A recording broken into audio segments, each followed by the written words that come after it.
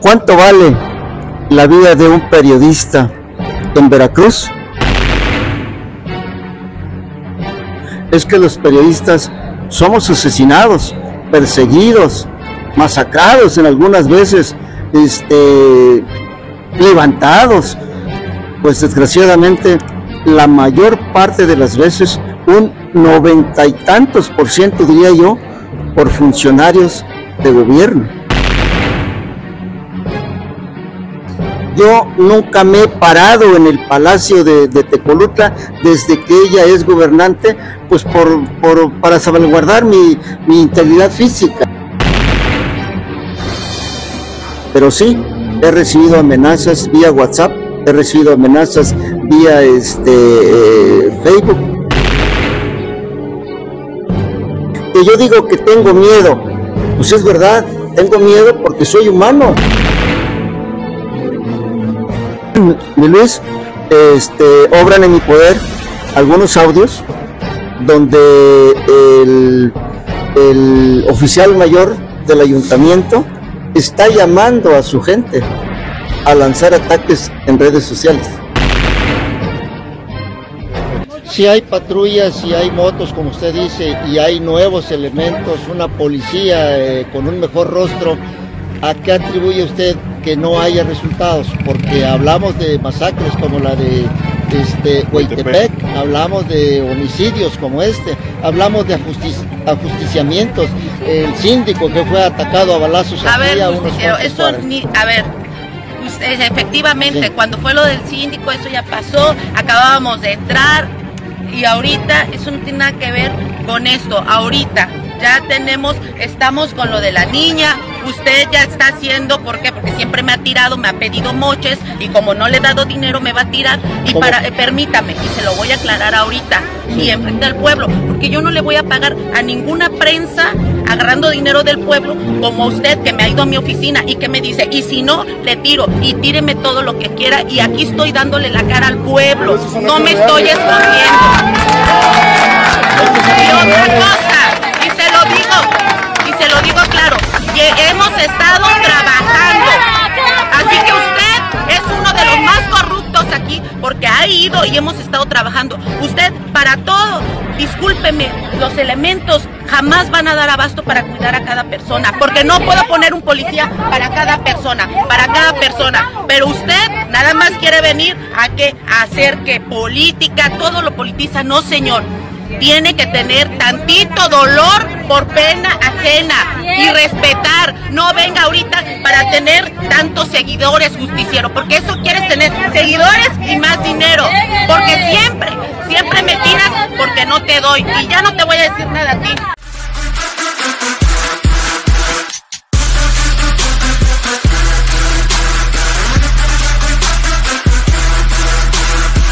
Bueno, ¿qué tal? Eh, estamos en esta ocasión con el compañero periodista, conocido por todos como el justiciero.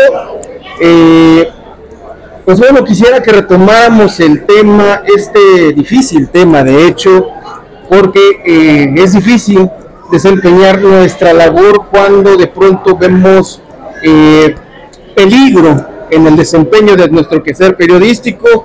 Yo quisiera, bueno, primero nada, eh, que nos platicaras un poco de esta situación a manera de recuento. Pues mira, este, amigo Luis, ¿qué te puedo decir? Eh, me gustaría expresar esta frase. ¿Cuánto vale la vida de un periodista en Veracruz? Pues bueno, ahí tenemos una galería grande de periodistas asesinados, de periodistas perseguidos, de periodistas este, desterrados, de periodistas exiliados. ¿Y qué te puedo decir? Eh, muchos gobiernos nos han tratado de hacer creer que los periodistas somos perseguidos, que somos acorralados, que somos asesinados por el crimen. Pero bueno, la realidad es muy distinta. La realidad, y ahí están las carpetas de investigación, es que los periodistas somos asesinados, perseguidos, masacrados en algunas veces, este, levantados. Pues desgraciadamente, la mayor parte de las veces, un noventa y tantos por ciento, diría yo, por funcionarios de gobierno, por gente de, de nuestro gobierno. Y cuando digo nuestro gobierno, pues me refiero a todos los partidos, mi Luis. En, en caso concreto, tú tuviste hace algunos días eh, eh, alguna eh, discrepancia, alguna, sufriste alguna eh, agresión verbal, así comenzó este asunto. Recuérdanos un poco. Pues mira, estábamos ahí en, en el eh, destino playero de Tecolutla, estábamos cubriendo, igual que con otros compañeros, eh, una nota una nota porque días, un día anterior habían asesinado a una muchachita y estaba bloqueado la entrada hacia Tecolutla.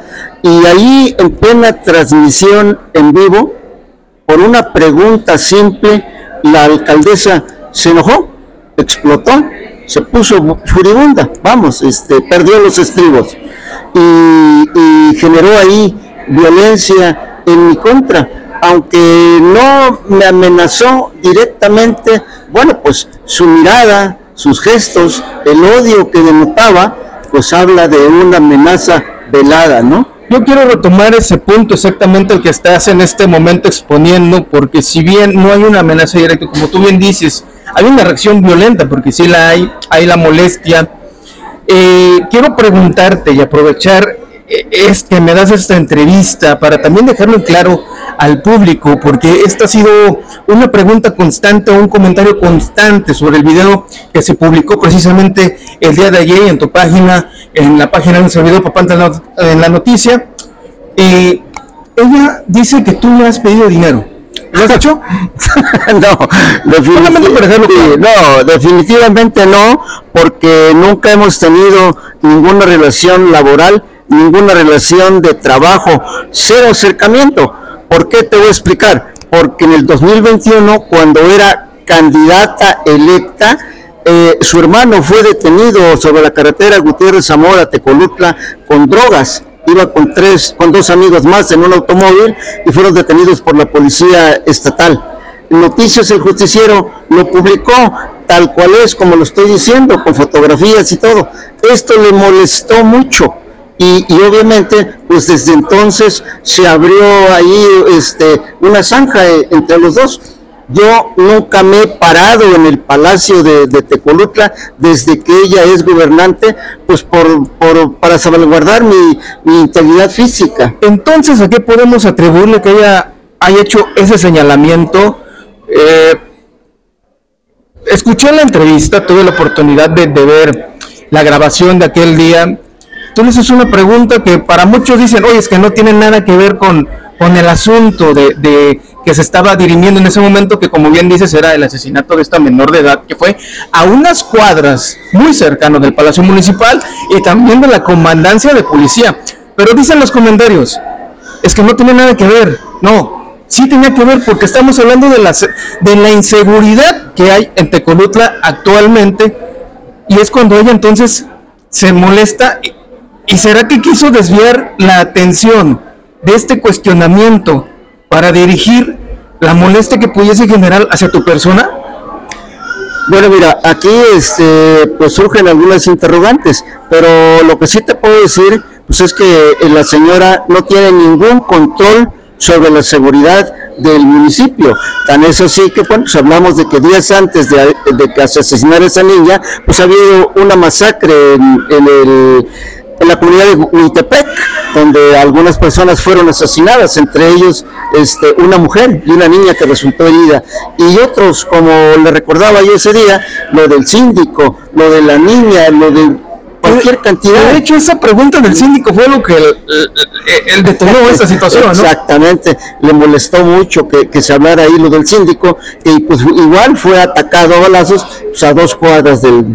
del- También cercanamente. Ah, y ahí pues, coincidimos, si no, si no mal recuerdas. Este, otra cuestión también es que, es que de hecho el tema es, es amplio. Eh, también recuerdo, bueno, tú estuviste en el lugar de los hechos, ahí muy cercanamente de los manifestantes, y ellos también hacían recuentos de una serie de ataques dirigidos a menores de edad precisamente en la zona centro. De hecho, por ahí alguna madre de familia comentaba que a una menor la habían jaloneado precisamente uno o dos días antes. Sí, mira, es un tema, la seguridad es un tema que le cala profundo. Le cala profundo pues porque como te dije hace un ratito, pues lo tiene totalmente fuera de control. Su policía, pues la policía ah, hace lo que puede y su respuesta absurda, no va a poner un policía para cada habitante del municipio. Pues es que eso no, no, no, no, no se debe de responder. También excusó que nada más se había recibido una sola patrulla funcional. Eso es mentira, porque ahí está un documento, está un documento bien firmado por este, por el mismo ayuntamiento, en donde revela la cantidad de patrullas y motocicletas que le dejaron. Y en ese documento no detalla si están en buen, en mal estado. Eh, ahí dice que están en buen estado, que los está recibiendo en buen estado. Si estaban en mal estado, entonces ¿para qué lo firmaron? Porque lo dieron por recibido. Exactamente. Así Exactamente. Este, otro, otro hecho que me llama la atención es que tú me platicabas, ahora sí que en una anterior entrevista, que pasaron los días después de esta situación, que dijéramos alguno, pues simplemente fue un exabrupto que se da en una situación con tanta presión, sobre todo de la sociedad que te rodea, tanto como gobernante y tú como también como periodista. Eh, pero entonces posteriormente comenzaron a surgir amenazas.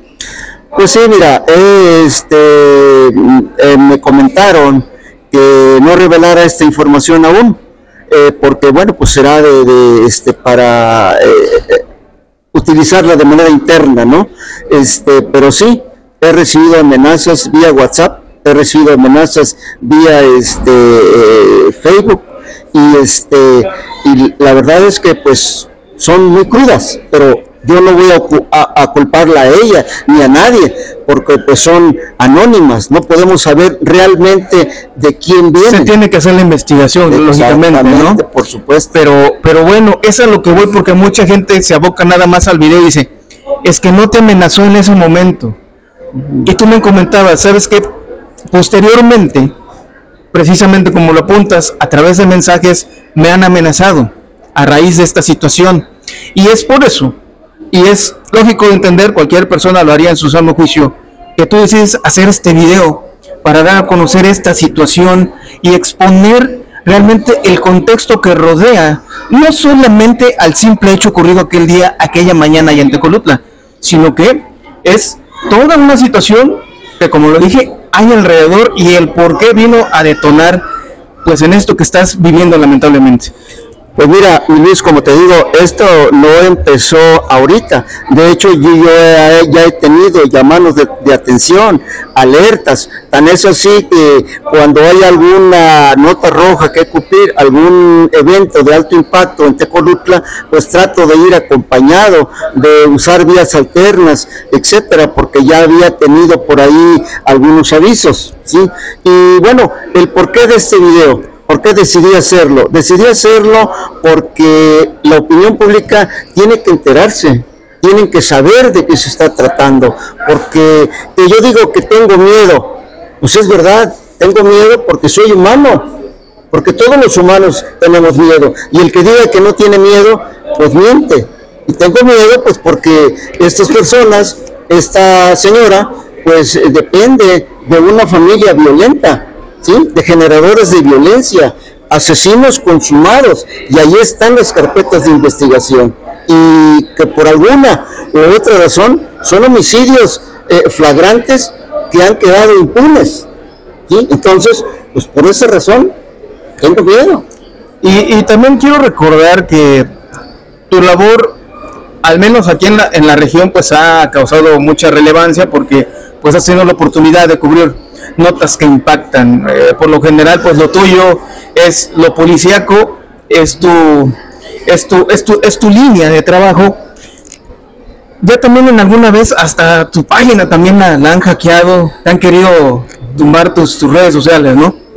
Pues mira, de hecho, este, esta es la tercera versión ya de Noticias el Justiciero. La primera versión eh, teníamos ya por ahí de los setenta y tantos mil seguidores y desafortunadamente pues fue hackeada y jamás, aún con todos los expertos eh, eh, este, en informática, no logramos desbloquear la página. La página quedó bloqueada. Ahí permanece, pero permanece bloqueada, sí. La segunda versión, pues esa versión este, fue creada por dos empresarios eh, y uno de ellos fue amenazado y se retiró, pero no se retiró sin antes tumbar la página. Claro. Quitaron la página, ¿sí?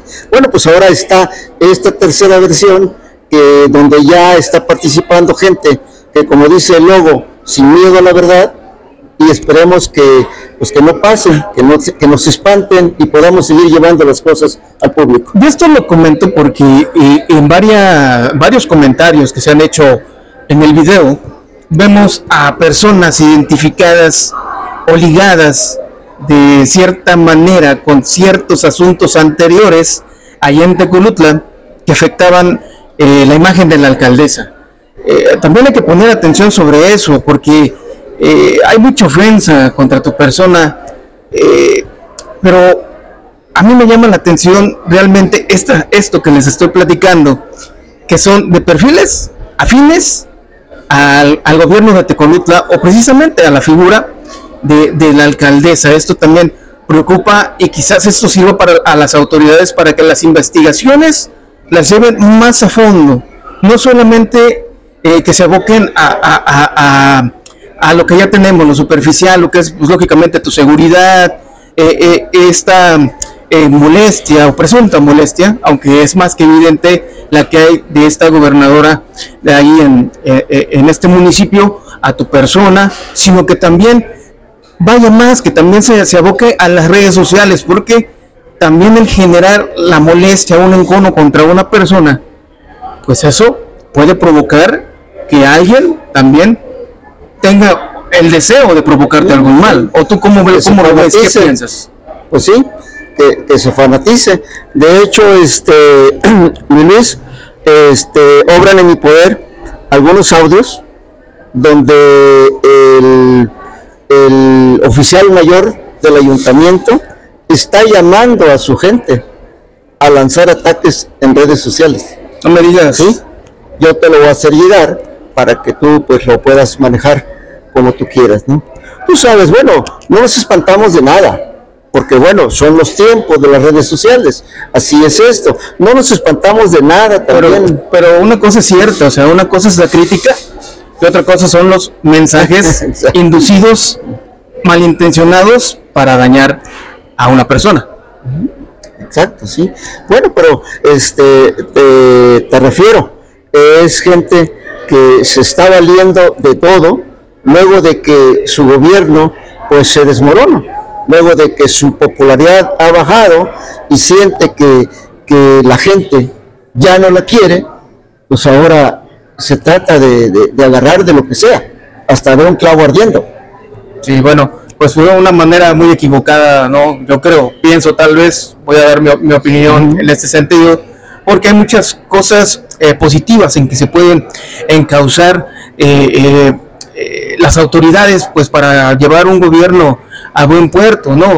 Algunas acciones en beneficio de la población, pero bueno, cada quien sabe cómo gobierna y también cada pueblo tiene el gobierno que merece.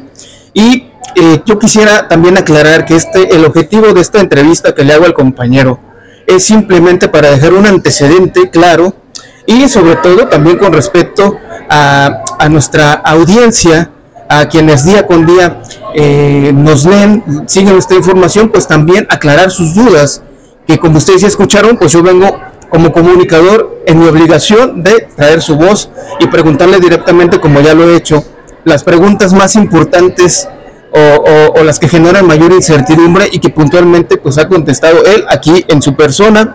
Y bueno, yo quisiera cerrar con esta, esta entrevista, si quieres tú dar algún mensaje a las autoridades o quizá a los compañeros, porque pues también yo sé que buscaste apoyo en algunos y simplemente dijeron no, pero hay otros que también vemos no nada más a un compañero de trabajo, sino pues prácticamente en el periodismo tenemos que ser hermanos.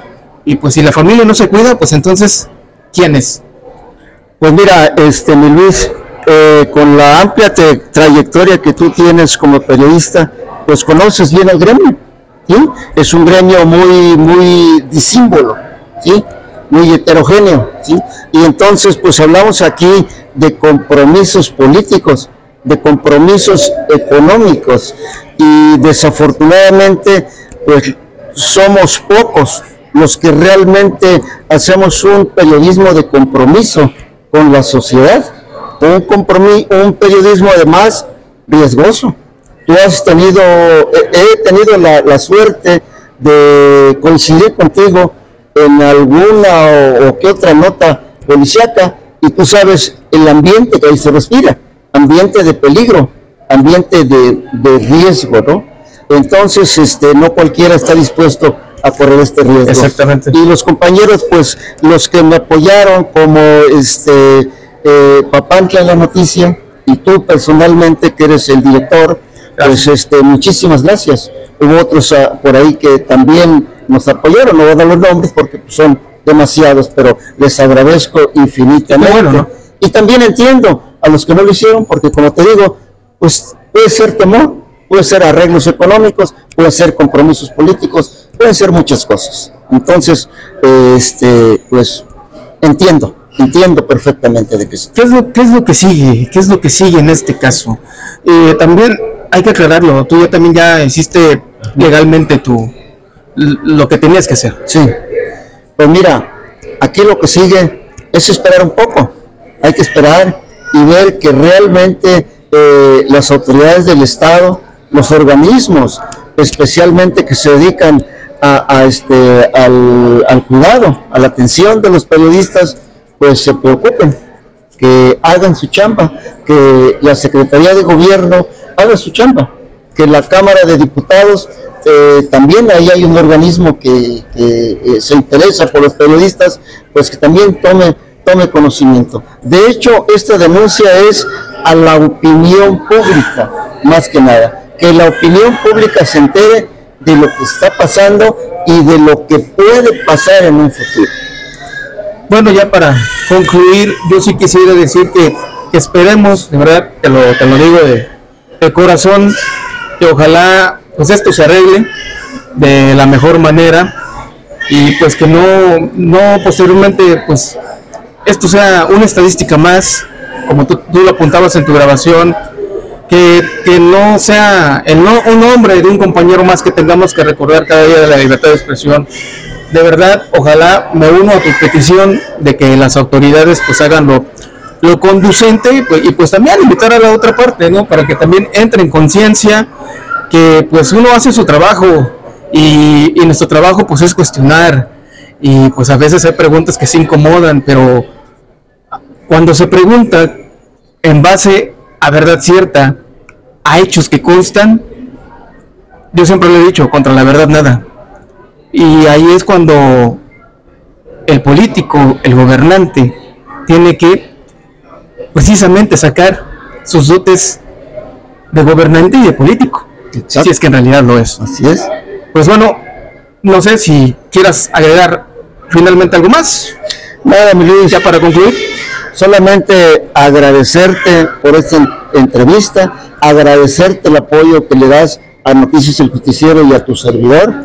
Y muchísimas, muchísimas gracias a tu audiencia, a tus seguidores por este estar soportando esta entrevista. No, no, no, no, no. y este, pues como regularmente decimos, ojalá pues que nos sigamos viendo pronto. Muchas gracias por su atención.